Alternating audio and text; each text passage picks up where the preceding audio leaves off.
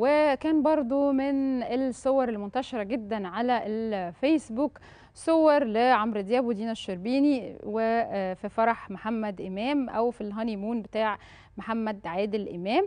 ده اللي تداولوا عدد من مستخدمي مواقع التواصل الاجتماعي فيسبوك أو الصورة الفنان محمد إمام وعروسته في شهر العسل. بنبارك لهم طبعا. وظهروا برفقة عمرو دياب ودينا الشربيني واحتفل محمد إمام بزفافه منذ أيام قليلة في الساحل الشمالي بحضور نخبة من نجوم الفنانين. عمرو دياب قام بإحياء حفلة على فكرة زفاف محمد إمام ونوران طلعت بمفرده وكشف للمرة الأولى عن أحدث أغنيات ألبومه الجديد كل حياتي.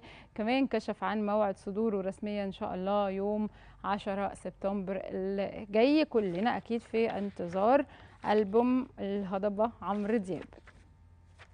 طيب أطرف مأذون شفتوا طبعا أكيد الفيديوز اللي تداولها موقع فيسبوك عن المأذون الحقيقة ده كان من أكتر يعني أكتر مأذون دمه خفيف في مصر ده اللي الناس قعدوا يتكلموا عنهم فيه